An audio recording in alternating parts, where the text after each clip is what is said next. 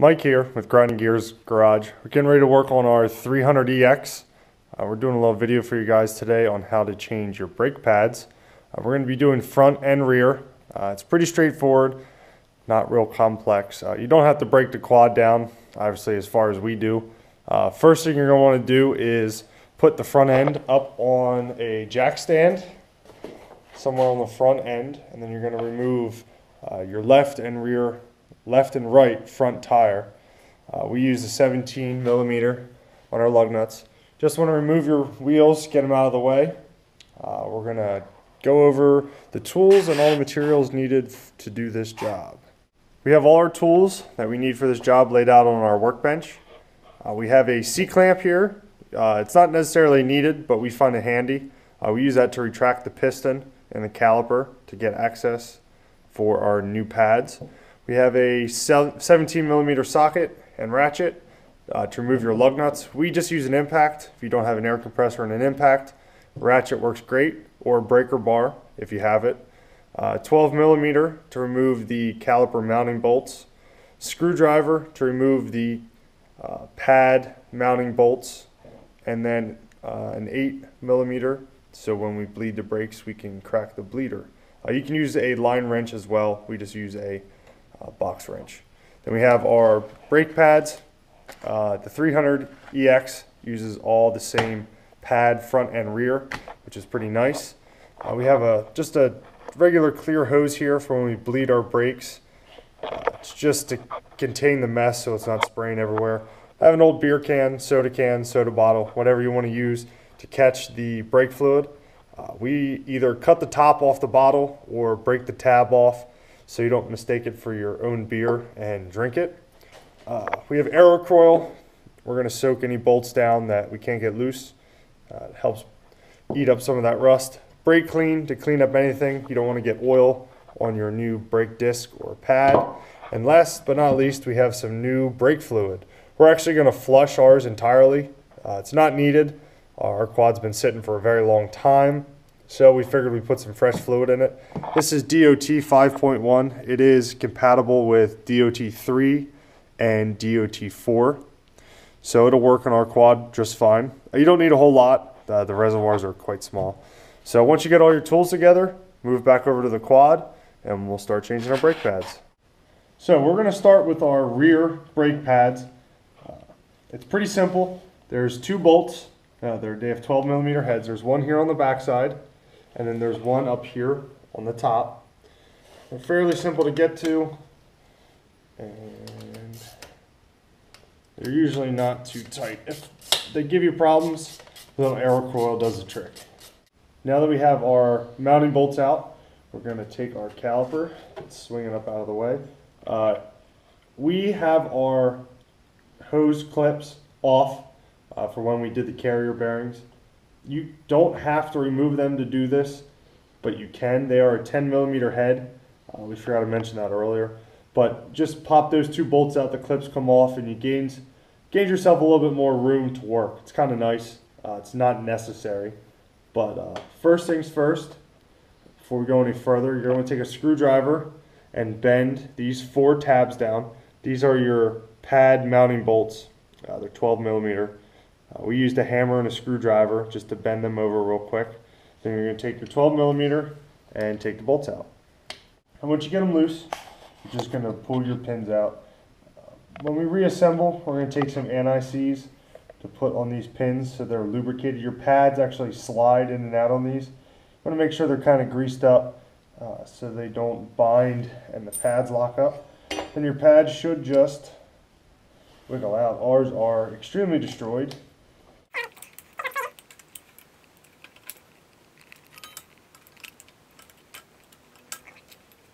As you can see, there was nothing left on these pads. Surprisingly, the disc is fine. It's in decent shape, which is weird. But uh, yeah, these things were toast, as you can see. Luckily, our caliper isn't damaged at all, so we're good to put new pads back in. This is where we're going to use our C-clamp. Uh, we're going to clamp between the head of this bolt. Be very careful not to mess this bolt up but you're going to put the other end of the clamp on the actual piston of your caliper and you're going to crank them in. Ours actually hasn't had fluid in it for a while, so uh, the piston's actually fully retracted. I'm just then going to loosen this up. On a, if your quad has twin piston brakes, you have to use one of the old pads in there so you actually draw the pistons in together. So now that we have that done, we're going to install our new pads. So now that we have our caliper retracted all the way, our piston, we're going to take our uh, mounting pins that the pads ride on, just take a little bit of anti-seize, just going to give them a real, real light coat. You don't have to go crazy, uh, it's just pretty much to make sure the pad doesn't seize to the pin. I'm just dabbing all the excess so we don't have a ton on there. You're just going to set that off to the side and then do the same thing the other one. So one tool we forgot in the beginning, uh, six millimeter Allen wrench. We forgot about our, the one slider bolt, so you can see right here, is removable. So we actually loosen that up. We're able to pivot our mounting plate, which your sliders pin to out of the way. You're going to take both your brake pads. Uh, they're identical, no differences between the two. They're exactly the same. Take one at a time. Uh, they take a little bit of work to get in there. You're going to take the mounting holes towards the back of your caliper and drop right in there. And there's also a little spring clip in the back there. You're going to notice as you go to put your slider pins in that uh, you'll get one pin in, but the other one doesn't seem to want to start It's because of that spring clip in the bottom kind of holding the pads up a little bit. So don't forget your holder clip. When you get these all tight, you're going to actually bend the ears back up against the head of the bolt. And then this is where the spring clip comes into play. Your front one, front pad, have to apply, as you can see here, there's quite there's quite a bit of movement in that as you get it lined up.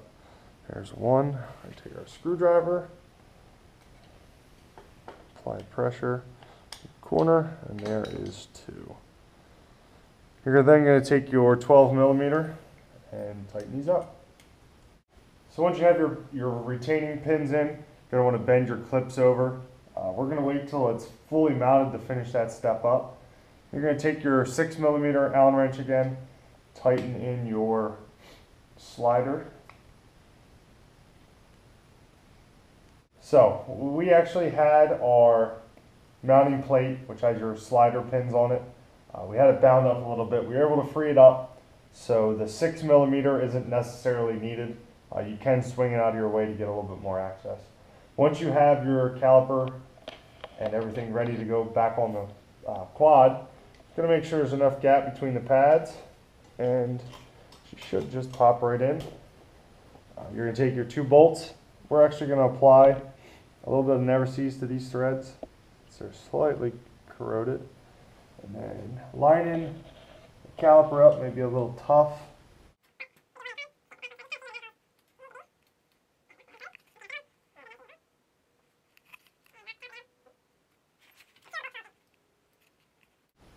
Once you have your caliper mounted back up on the quad, you want to make sure to install your two clips here for the parking brake and your brake line.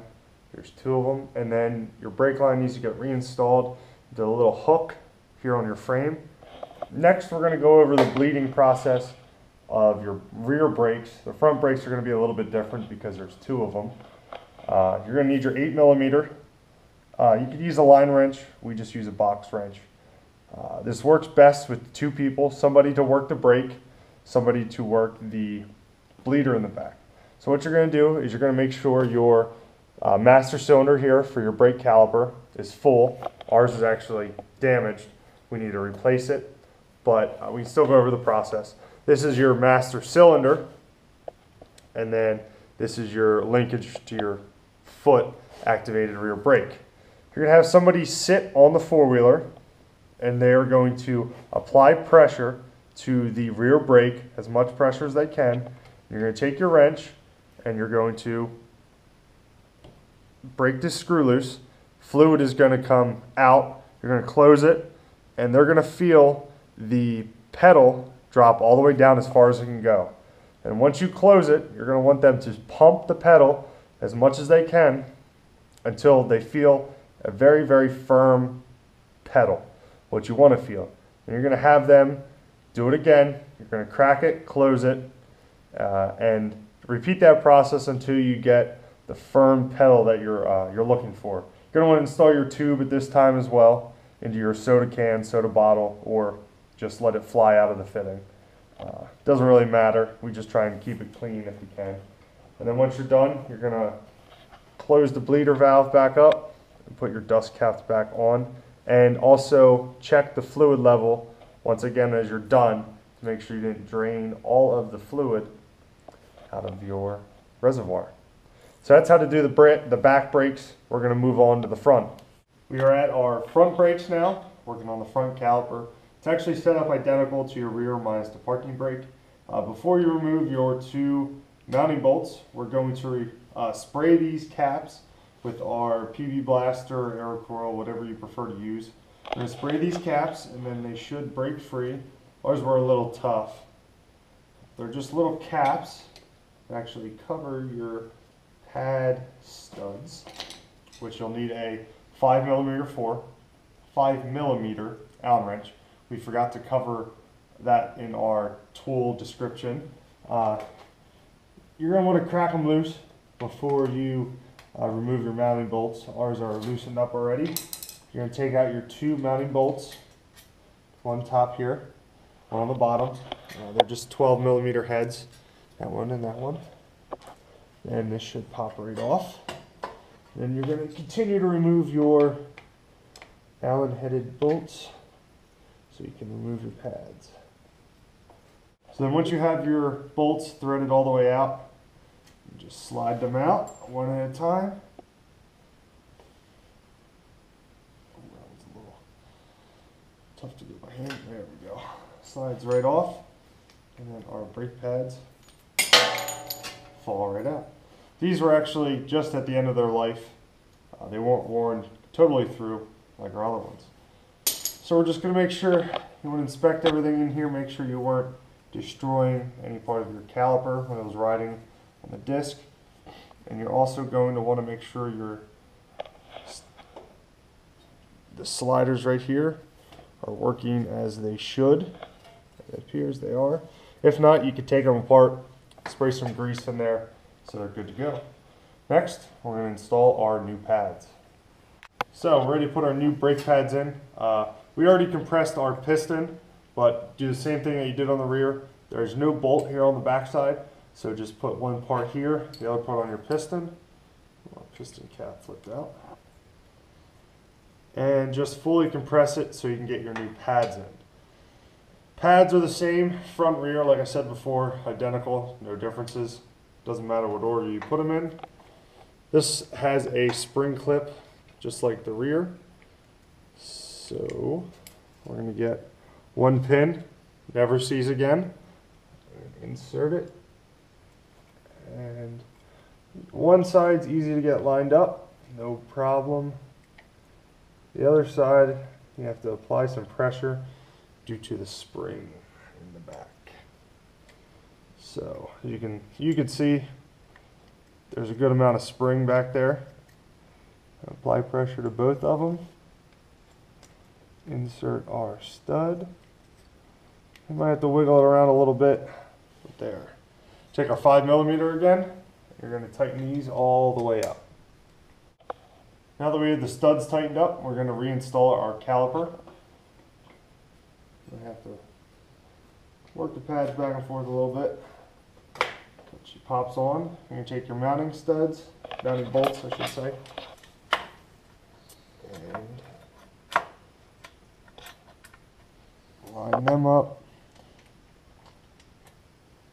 We noticed our fronts are a little tough. The brake line in the front kind of fights you a little bit. It's not too bad. So once you get them lined up, tighten those two up. And then uh, once you have it installed, take your five and just snug up your Allens. Make sure they're good now that you have a nice firm base. You're going to reinstall your two caps as well. Yours are real rusty, uh, like ours are, just put a fine coat and never-seize on there. Because you never know if you're going to be the next person to do the brakes. Makes it a little easier next time. So you're going to tighten them up. Tighten your two 12 millimeters. And your new brake pads are installed on one side. You're going to take this process over to the other side of the quad. Pretty much repeat it. It's identical. And then after this, we're going to go over the bleeding process. So for this process, you're going to need a helper again. I'm utilizing my beautiful wife, camera woman slash helper. So uh, you're going to want your hose again and your empty beer bottle, beer can, uh, soda bottle, whatever you're using. Uh, you're going to hook the hose up just like this. Just pops right on. You're going to have your helper apply pressure to the brake lever. And when she's applying pressure, you're going to take your bleeder, you're going to crack it. And the lever should become soft, and you're going to have your helper pump the brake lever until it feels firm.